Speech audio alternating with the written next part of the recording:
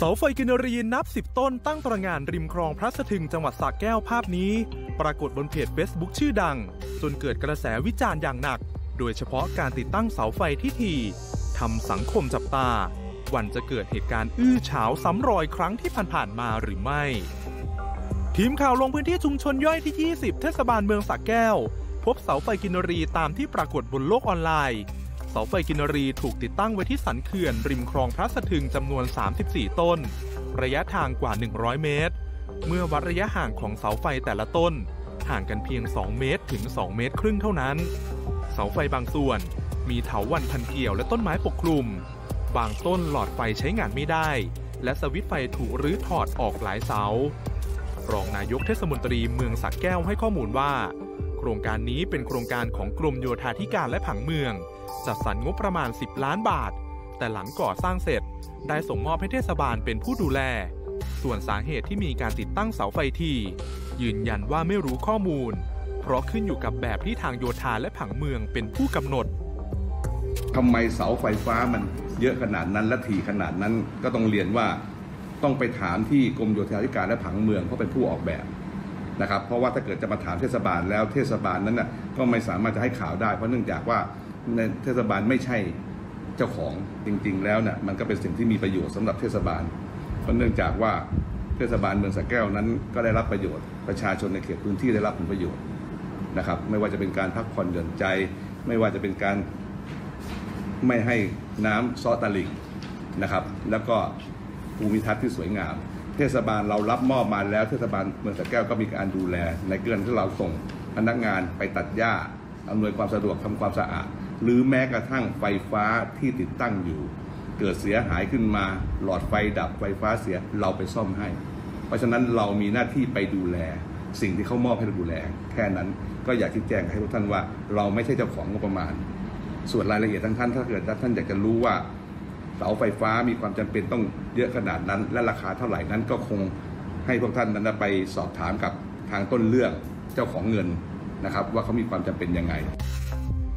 ขณะที่นายช่างโยธาชำนาญงานสำนักงานโยธาธิการและผังเมืองยอมรับว่า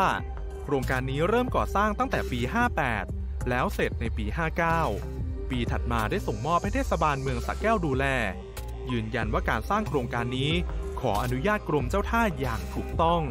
ส่วนเสาไฟกินรีมี 36 ต้น ราคาต้นละ 11,500 บาท สร้างเมื่อปี2558 ครับอ่าเสร็จสิ้นปี2559 ครับแล้วได้ได้อ่าเมื่อเสร็จสิ้นแล้วได้มีการส่งมอบให้ทางเทศบาลได้ดูแลครับผมครับ การก่อสร้างเขื่อนพระมันตลิ่งก็ได้ขออนุญาตอ่ากรมเจ้าท่าเรียบร้อยครับก่อนก่อนที่มันการก่อสร้างครับ สร้างประมาณยาวเท่าไหร่ครับอ่า สร้างประมาณ 100 เมตรครับ เสาประมาณกี่ต้นครับ เสาไฟ3 36ต้น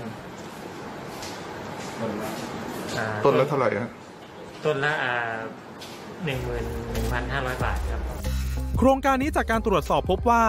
ก่อสร้างโดยสำนักงงานโยธาธิการและผังเมืองจังหวัดสระแก้ว ได้รับการจัดสรรงบประมาณ โครงการก่อสร้างเขื่อนป้องกันตลิ่งริมคลองพระสะทึง ความยาว 100 เมตร จากกรมโยธาธิการและผังเมือง งบประมาณปี 58 จำนวน 2.1 ล้านบาท งบผูกพันปี 59 8.4 ล้านบาท รวมทั้งสิ้น 10 ล้าน5แสนบาท มีห้างหุ้นส่วนจำกัดชื่อดังแห่งหนึ่ง ในพื้นที่อรัญญประเทศเป็นผู้รับจ้างโครงการ ตามสัญญาจ้างลงวันที่ 29 พฤษภาคมปี 58 วงเงินสัญญาจ้าง 10 ล้าน2แสนบาท บันทึกส่งมอบและรับมอบทรัพย์สินสิ่งปลูกสร้างโครงการ ให้เทศบาลเมืองสระแก้วเป็นผู้ดูแล เมื่อ 31 กรกฎาคม ปี 60 ล่าสุดเจ้าหน้าที่กองช่างเทศบาลเมืองสระแก้ว ลงพื้นที่ปรับปรุงภูมิทัศน์ เปลี่ยนหลอดไฟ รวมถึงซ่อมแซมระบบไฟฟ้าที่เสียหาย เพื่อให้กลับมาส่องสว่างอีกครั้ง ขณะเดียวกันผู้ว่าราชการจังหวัดสระแก้ว สั่งการให้ผู้ดูแลโครงการนี้ชี้แจง พร้อมแนะนำให้มีการขยับเสาไฟออกไปโดยให้รื้อถอนจัดระยะห่างให้เหมาะสม และนำเสาไฟส่วนที่ถอดออกไปใช้ประโยชน์ในพื้นที่อื่นต่อไป ปริวัตรบุพสิริ สำนักข่าวไทย อสมท รายงาน